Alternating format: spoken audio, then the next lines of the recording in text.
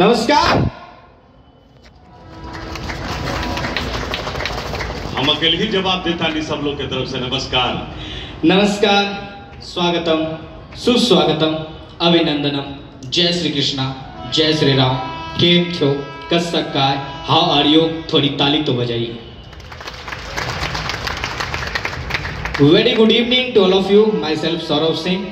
As a comedian as a mimicry artist मैं आप सभी का स्वागत, अभिनंदन वेलकम करता हूँ। इबादतों की राहों में पहला काम करता हूँ, मेरा असूल है, मैं सबसे पहले सलाम करता हूँ।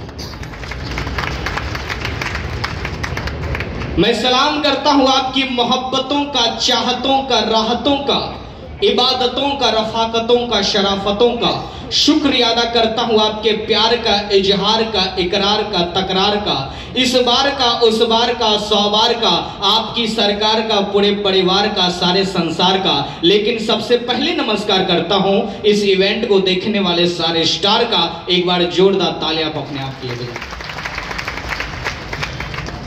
क्योंकि साहब, इस वक्त मैं स्टार नहीं हूँ, हमारे सारे आर्टिस्ट स्टार नहीं है। स्टार आप सब हो, क्योंकि आप ही किसी को हीरो बनाते हो, आप ही किसी को ज़ीरो बनाते हो। Audience is all and audience is my God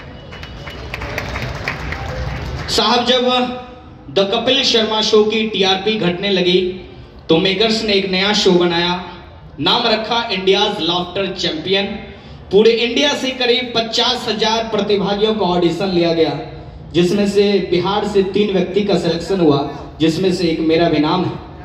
मैं जब India's laughter champion India's laughter champion show करके जब मैं पटना एयरपोर्ट पर पहुँचा तो मीडिया के साथियों ने मुझसे कहा कि भारत के सबसे बड़े टेलीविज़न में से एक सोनी एंटरटेनमेंट टेलीविज़न पर आपको प्रस्तुति करने का मौका मिला। मेरे हिसाब से ये आपकी ज़िंदगी का सबसे बड़ा मंच होगा।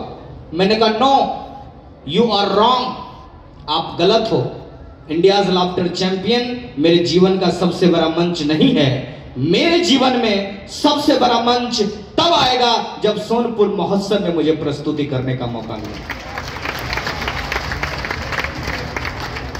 मैंने कहा, साहब, मेरे जीवन में सबसे बड़ा मंच तब आएगा जब एशिया के सबसे बड़े मेले में मुझे प्रस्तुति करने का मौका मिला, मिलेगा। और आज ये मौका कला, संस्कृति एवं युवा विभाग ने दिया है। मैं दीपक सर का, वंदना मैम का इस मंच से स्वागत, अभिनंदन वेलकम करता हूँ। और मैं थोड़ा सा यहाँ पर माहौल बदलने के लिए आया हूँ, क्योंकि हर इंसान के पास हर गुण नहीं पाया जाता, हर आर्टिस्ट के पास हर आर्ट नहीं पाया जाता। आप खुद गौर कीजिए, सोने में सुगंध नहीं मिलता, गन्ने में फूल नहीं मिलता, चंदन में फल नहीं मिलता, विद्वान के पास धन नहीं होता, राजा कभी दीर्घजीवी नहीं होता, हर इंसान को हर चीज़ हासिल नहीं मिलता, नदी की हर लहर को साहिल नहीं मिलता, किसी को मुकम्मल जहाँ नहीं मिलती, किसी को धरती तो किसी को आसमान नहीं मिलती। किसी को धरती तो किसी को आसमान नहीं मिलती। ये दिल वालों की दुनिया है मेरे दोस्त, ये दिल वालों की दुनिया है मेरे दोस्त। किसी से दिल नहीं मिलती तो कोई दिल से नहीं मिलती।